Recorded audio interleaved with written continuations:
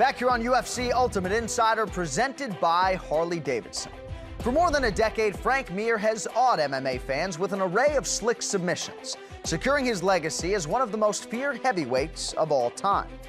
In honor of his career, we asked the brothers Gracie to take a closer look at one of Mir's most memorable achievements, his submission of all-time great Minotauro Nogueira. This is a Gracie breakdown for the ages. What's up, guys? I'm Rener Gracie. This is my brother Ryron.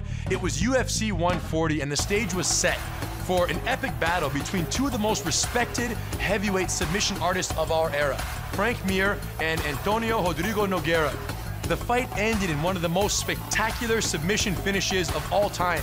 All of us were shocked, even this guy. This is Gracie Breakdown.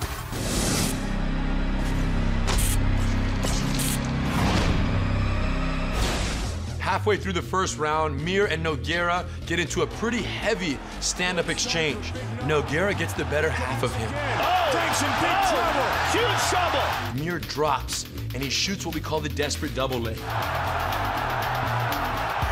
Nogueira does a great job sprawling and turning out around the corner. At this point, he's delivering blows. Frank is out, Mike. Herb right on top of the action. He's dazed, and Joe Rogan's yelling, he's going out. Frank is out, Mike. So many fights end here. Yes. However, Nogueira had to go back to his jungle roots.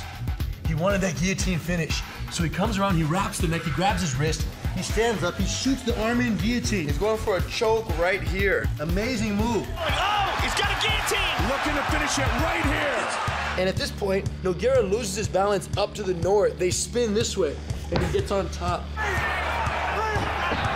As soon as this happens, Nogueira shoots an underhook, and you see Mir control the situation. Nogueira slips his head out, boom, and starts to look for the switch, which he does probably better than anyone else in MMA. Elises gives him an opportunity to recover if Minotauro doesn't hit this switch. The problem was his arm was left behind, and even though Mir's back almost got taken, he locked the Kimura grips right here on the wrist. Nogueira was not quick enough. Yes. To throw this leg in over the top.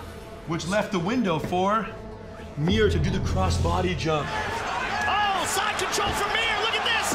And this changes everything because now that my body's not on this side, there is actually space and an opportunity to break the arm on this side. Mir gets very excited at this point. He switches his hips. Kimura from Frank Mir! He turns north, and at this point he starts to lift and drive the hand north. Get the submission? The only problem was Nogueira's head is not trapped at this point. So even though we're lifting the head very high and we're twisting it, Nogueira kept sitting up off his other arm, pushing himself up, and we lost our balance. So Nogueira rolled. Mir's leg is already over the head. There's no more sitting up because the leg is pinning the neck down. He lifted and he drove this hand north. And it went, and it went, and it went. And then, my friends, it went.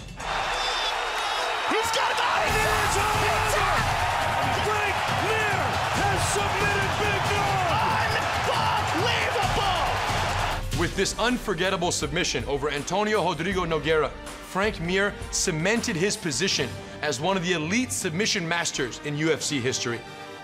I'm Rener. This is Ryron. Thanks for watching.